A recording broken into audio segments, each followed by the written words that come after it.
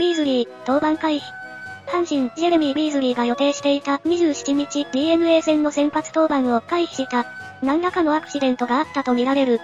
予告先発は現在リリーフで起用されている伊藤将司投手と発表された。ビーズリーは16日の中日戦から中10日を空けての登板を予定していた。26日の午前中に甲子園で行われた投手練習にも参加し、キャッチボールや室内でのトレーニングなどを精力的にこなした。いつも通り調整できた。いい準備ができたと思うと翌日の登板に向けて意気込みを語っていた。横浜スタジアムで今の伊藤正史は不安でしかない。ここ2試合経った2イニングで9安打打たれてるからね。ビーズリーにアクシデントが起きたか、巨人戦にぶつけるかは現時点ではわからない。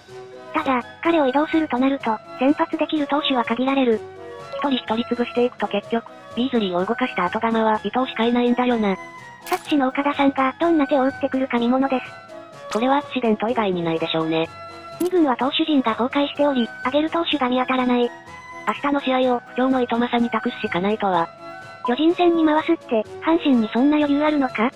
もう DNA に連敗したら、広島はカイトの6連戦なんだし、巨人戦前に終わるよ。逆転優勝のためには3連勝は必須。最低でも2勝1敗。今にして思えば、カープ3連戦にビーズリーではなく、門別を投入したのも、ビーズリーの状態が良くなかったんだろうね。広島に左当てるために飛ばしたんじゃなくて、どこか悪いから飛ばしたんやろね。